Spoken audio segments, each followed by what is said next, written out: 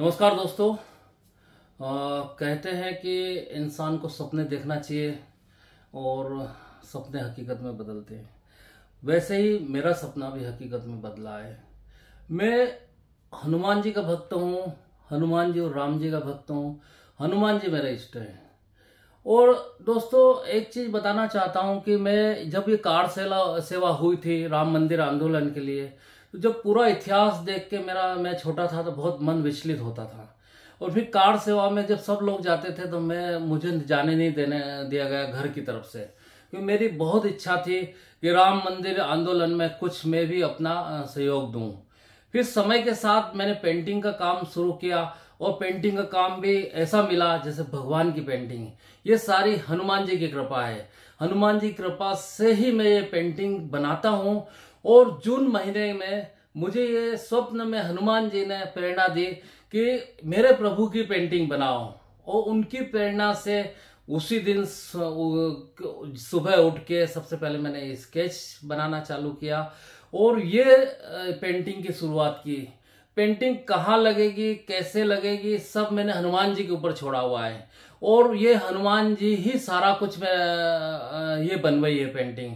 तो मैंने 108 पेंटिंग सबसे पहले सोचा कि क्या करूँ मैं? तो पूरी रामायण जी पेंटिंग में बनाऊँगा तो पहले मैंने एक कौन पेंटिंग का सोचा, फिर उसके बाद मैंने कहा, नहीं, इसमें तो सारे प्रसंग नहीं आएँगे। तो 108 पेंटिंग का मैंने संकल्प लिया। और 108 जो पवित्र होता है, हमारे साधु महात्मा और जो सिद्धि करते हैं, हमारे सनातन धर्म में बहुत पवित्र अंक होता है। तो वो मैंने 108 पेंटिंग बनाने का निर्णय लिया। और सबसे पहले मैंने एक एक चीज़ का स्केच किया और वो उसके सारे वीडियो मेरे यूट्यूब चैनल पे अपलोड किए। और हर एक स्केच करने से पहले आधे पौन घंटे, एक घंटे सोचना पड़ता था कि मैं क्या इसमें चीज़ बनाऊँ, कैसे उस टाइम लग रहे होंगे प्रभु। जब तक प्रभु की छवि मेरे मन में, मेरे मन मस्तिष्क में नहीं नज़र आती, तब तक मैं पेंटिंग वो स्केच फाइनल नहीं करता हूँ। भले स्केच चार बार, पाँच बार बिगाड़ना पड़ा है। दोस्तों पेंटिंग बन के तैयार हो गई है। सारे स्केच की वीडियो मेरे यूट्यूब चैनल पे मिलेंगे। सारी पेंटिंग एक एक पेंटिंग जब बनी है उसके वीडियो मिलेंगे। ये 108वीं पेंटिंग में बना रहा हूँ। 108वीं पेंटिंग जो कि उसमें राम मंदिर राम दरबार बना है उसमें राज तिलक हुआ है और भगवान श्री राम को रा, राजा पे से करके राजा बना दिया है। तो वो मैंने सीन बनाया है। सबसे पहले मैं दिखाता हूँ कि 108वीं पेंटिंग हमारी कैसी बनी तो ये पूरा फ्रेंड स्केच करके और पूरा पेंटिंग फाइनल की है। इसकी बॉर्डर पे भी पूरा राम राम राम लिखा है। और ये सारा बनाने से थोड़ा संक्षिप्त पूरा पेंटिंग के बारे में दिखा देता हूँ मैं। ये जैसे कि यज्ञ से पहले यज्ञ से पहले जो कि अत्रि ऋषि आते हैं, दशरथ जी को यज्ञ करवाते हैं। बाल लीला होती है, जन्म होता है, बाल लीला होती है, जो काकभूषण जी का बहुत फ़ेमस प्रसंग है, वो हुआ।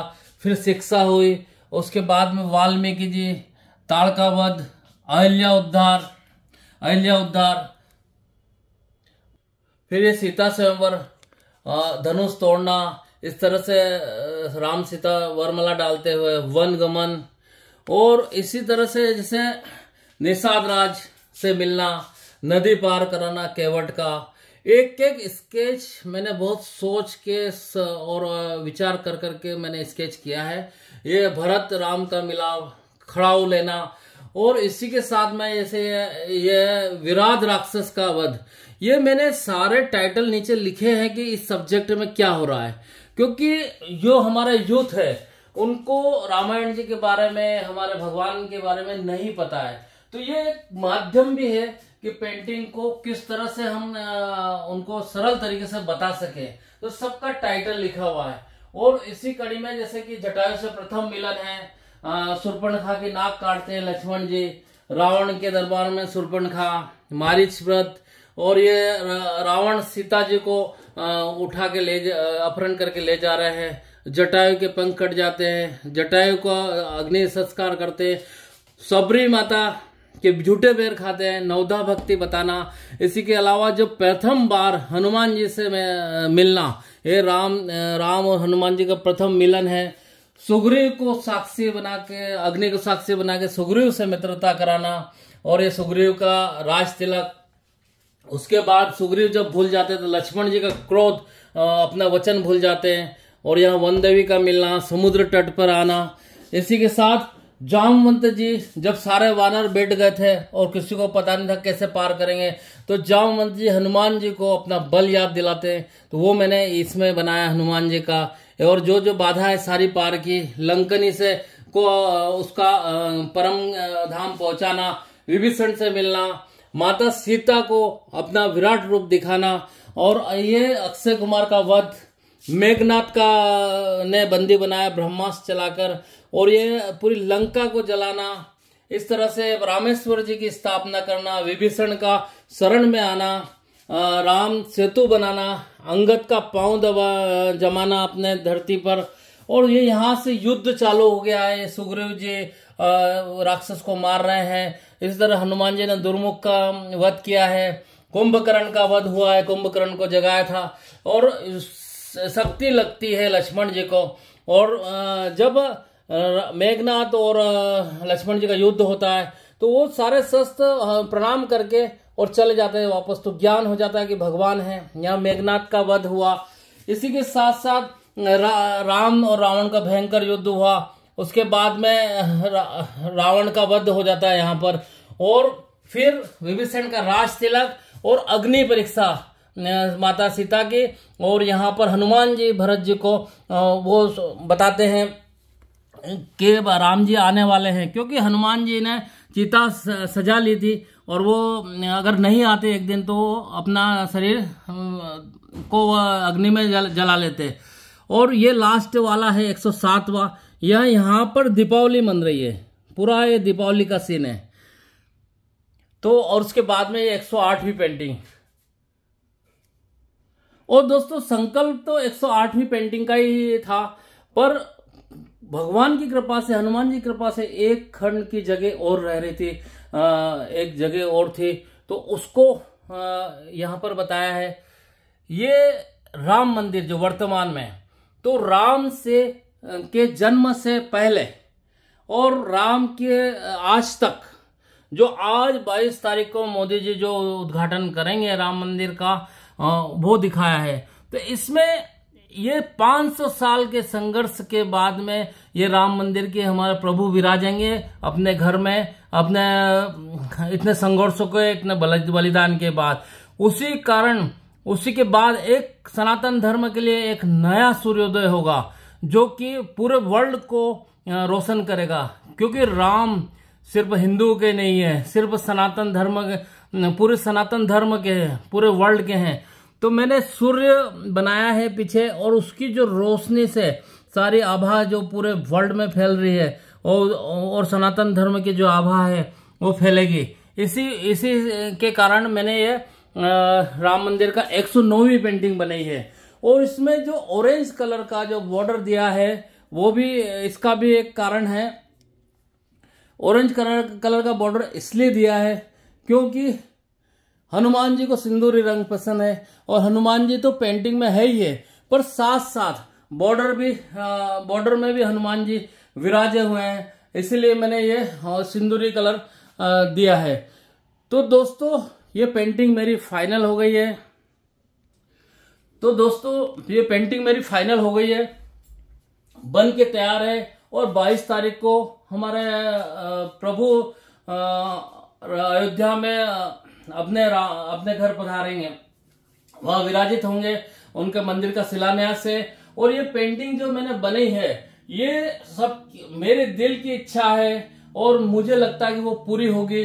मुझे पूरा सहयोग चाहिए आप लोगों का। मैंने मोदी जी को कांटेक्ट करने की बहुत कोशिश की है और कैसे भी करके ये वीडियो उन तक पहुँचे, जिससे कि मैं अपना जो मैंने, मेरा जीवन सफल हो जाए। अगर राम मंदिर में पेंटिंग लगती है तो मेरा, मेरी ज़िंदगी सफल हो जाएगी। पेंटिंग तो बहुत बनाएँगे, ज़िंदगी भर, पर यह मेरी अनमोल ज़िंदगी की निधि है। आज तक मैंने जो भी काम किया है, उन सब का निचोड़ है। और मैंने पूरी श्रद्धा से, भक्ति से ये पेंटिंग बनाई है। सुबह चार बजे, पाँच बजे उठ उठ के और इस पेंटिंग में पूरा काम किया है। क्योंकि पूरी एकाग्रता के साथ रामायण जी सुनते हुए ये पेंटिंग बनी है।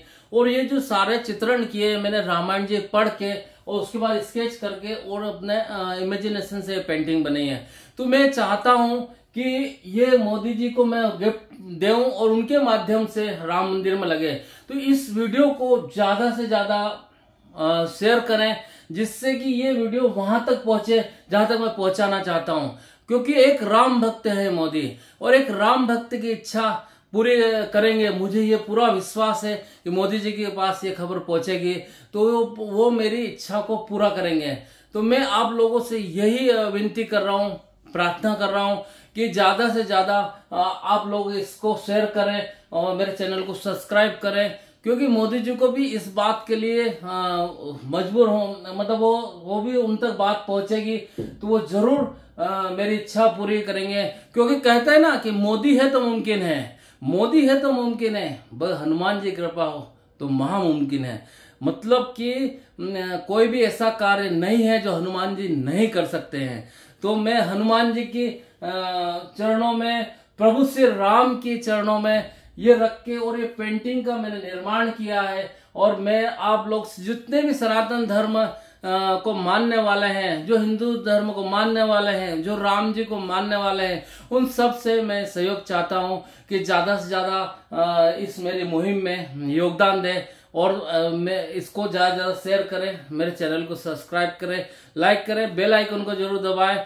तो बस मैं, मेरी ये मन की इच्छा हनुमान जी आप लोग पूरी कर सकते हैं और मोदी जी पूरी कर सकते हैं। तो धन्यवाद दोस्तों, मेरा ये वीडियो में सारा जो कहना, कह दिया है, अब ज़्यादा से ज़्यादा, अब आपके ऊपर है हेडोर हनुमान जी के ऊपर है, राम जी के ऊपर है जैसी प्रभु की इच्छा होगी, वो मुझे स्वीकार होगी। धन्यवाद। जय हिंद, जय भारत, हिंदू राष्ट्र, जय सनातन धर्म। जय श्री राम जय श्री राम जय श्री राम